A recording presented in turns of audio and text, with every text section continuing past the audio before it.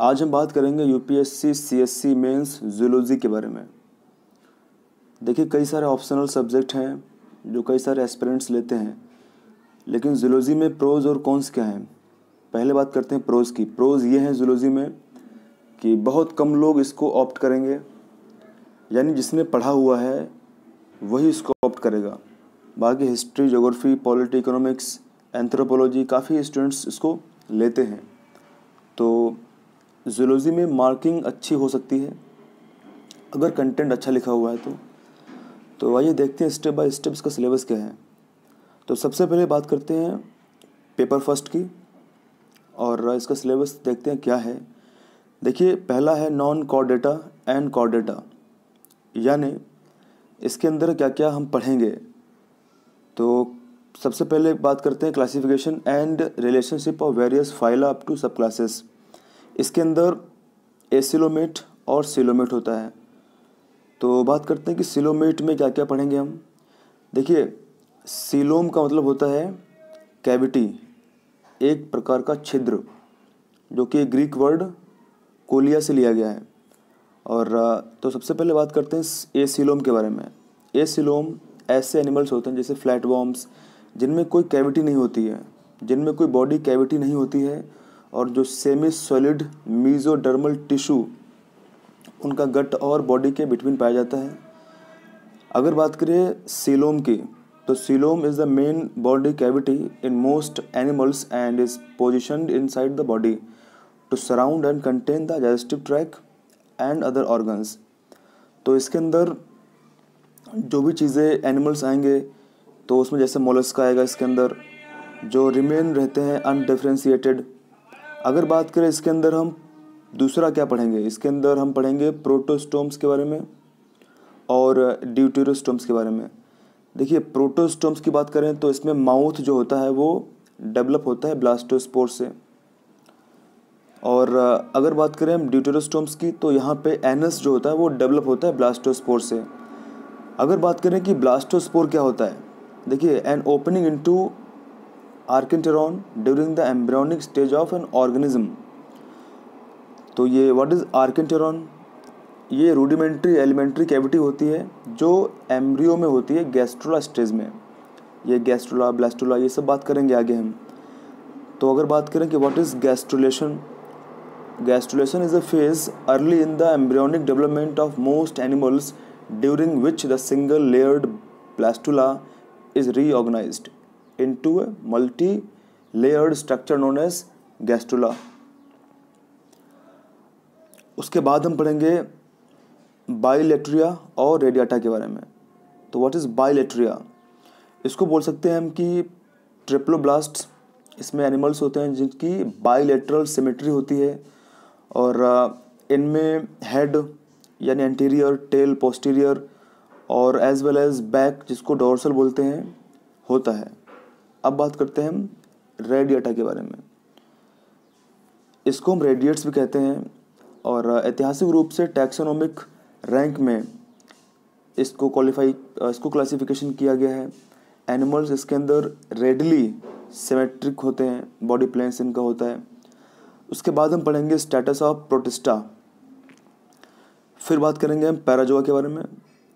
चलिए बात करते हैं व्हाट इज़ पैराजोआ? पैराजोआ होता है, एनिमल सब किंगडम के अंदर आता है ये, जो इंक्लूड करता है ऑर्गेनिजम्स को ऑफ़ फाइला पोरीफेरा यानी पोरीफेरा फाइला के जितने भी ऑर्गेनिज्म होते हैं, वो उसके अंदर हम बात करेंगे पैराजोआ के बारे में। जैसे प्लेकोजोआ स्पोन जो होते हैं, वो मोस्ट वेल नोन होते हैं पैराजोआ में। और ये एक्वाटिक ऑर्गेनिज्म होते हैं जो जल में पाए जाते हैं। और कई सारी अप्रॉक्सीमेटली पंद्रह हज़ार के आसपास स्पीसीज़ वर्ल्ड वाइड इसकी हैं। उसके बाद हम बात करेंगे ऑनिकोफोरा और हेमिकॉडेटा के बारे में और सिमेट्री देखिए, अगर बात करें हम ऑनिकोफोरा के बारे में तो इसको कॉमनली हम कहते हैं वेलबेट वॉम्स या फिर एम्बिग्यूसली इसको कहते हैं पेरीपेटस जो कि is a phylum of elongate soft bodied many legged panarthro panarthropods अगर बात करें हेमिकॉडेटा के बारे में तो phylum of marine deuterostome animals जिसको हम सामान्यतः सिस्टर ग्रुप ऑफ़ एक्काइनोडर्म कहते हैं। उसके बाद बात करेंगे हम प्रोटोजोआ के बारे में। इसके लोकोमोशन कैसे होता है, इसका न्यूट्रिशन यानी पोषण कैसे होता है, इसके अंदर रिप्रोडक्शन कैसे होता है, इसमें सेक्स क्या होता है। उसके बाद बात करेंगे हम general features and life history of paramecium उसके बाद बात करेंगे हम मोनोसिस्ट के बारे में, प्लाज्मोडियम एंड लिशमानिया। फिर बात करेंगे पॉरीफेरा के बारे में। इसमें इसका स्केलेटन कैसा होता है, इसमें इसका कैनाल सिस्टम कैसा होता है, और इसमें इसका कैसा होता है रिप्रोडक्शन। आगे बात करें तो आगे आता है हमारा नाइडेरिया इसमें बात करेंगे पॉलीमॉर्फिज्म के बारे में, defensive structure and their mechanism के बारे में बात करेंगे। फिर बात करेंगे हम कोरल रीप्स के बारे में, और उनका फॉर्मेशन कैसा होता है, और फिर उनका बात करेंगे मेटाजेनेसिस के बारे में। उसके बाद बात करेंगे हम general features and life history of obelia and aurelia फिर बात करेंगे हमारा जो टॉपिक आएगा, वो होगा प्लेटी हेलमेंट्स के बारे में। यहाँ बात करेंगे हम कि इसका जो परजीविक जो अडेप्टेशन है, वो देखेंगे। फिर इसमें कुछ हम जनरल सामान्य फीचर देखेंगे, जैसे life history of fasciola taenia and their pathogenic symptoms फिर बात करेंगे हम निमेथल निमेथेलमेंथिस के बारे में। इसके अंदर जनरल फीचर्स लाइफ हिस्ट्री के बारे में बात करेंगे parasitic adaptation of ascaris and wuchereria फिर बात करेंगे हम एनालिडा के बारे में, इसमें सिलोम मेटामेरिज्म कैसी होती है modes of life in polychaetes यानी किस तरीके से लाइफ होती है पॉलिकीट्स का। फिर बात करेंगे हम general features of life history of nereis earthworm and leech के बारे में। उसके बाद फिर हमारा आता है ऑर्थोपोडा। यहाँ बात करेंगे हम larval forms and parasitism in crustacea vision respiration in arthropods जैसे प्राण कॉकरोच स्कॉर्पियन ए के बारे में। फिर बात करेंगे मॉडिफिकेशन ऑफ़ माउथ यानी किस तरीके से इनका जो माउथ है, उसका मॉडिफिकेशन हुआ है पार्ट्स का। इसमें इंसेक्ट्स आते हैं, जैसे cockroach mosquito housefly honey bee and butterfly के बारे में। और उसके बाद बात करेंगे मेटामॉर्फोसिस के बारे में insect and its hormonal regulation social behaviour of apis and termites के बारे में। फिर बात करेंगे हम मोलस्का इसकी फीडिंग कैसे होती है? किस तरीके से इसमें रिस्पायरेशन होता है? लोकोमोशन कैसे होता है? इसके general features life history of lamellidens के बारे में बात करेंगे, पीलिया और सॉरी पाइला और सीपिया के बारे में बात करेंगे। फिर बात करेंगे हम टॉरिसन एंड डिटोरिसन इन गैस्ट्रोपोर्ट्स के बारे में। उसके बाद हमारा टर्म आता है, जो टॉपिक आएगा वो आएगा इकाइनोडर्मेटा।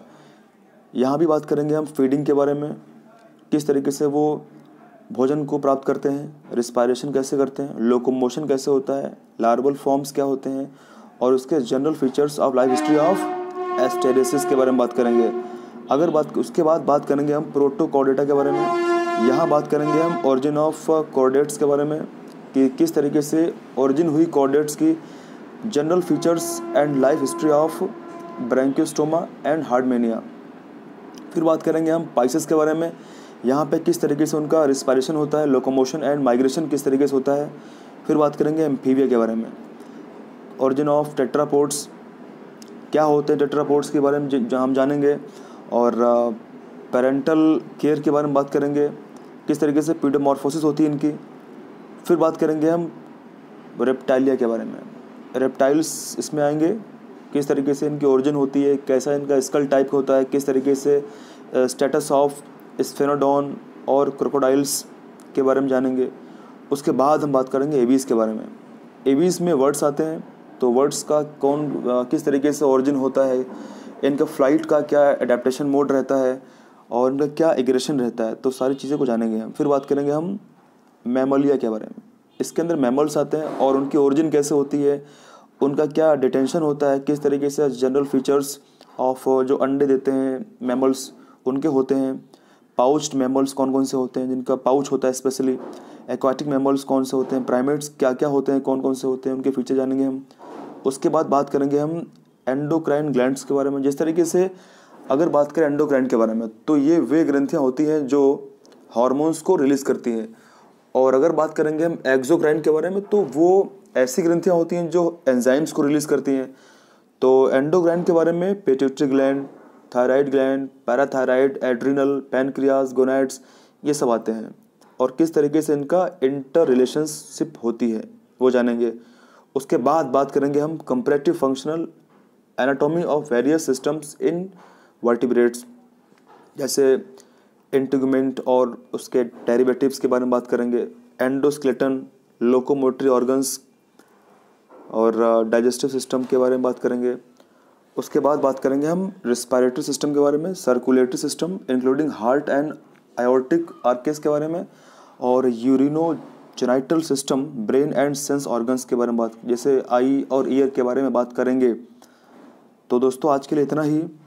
अगले वाले पार्ट में हम डील करेंगे इकोलॉजी कि क्या क्या हम पढ़ेंगे जुलॉजी ऑप्शनल मेंस में इकोलॉजी के अंदर।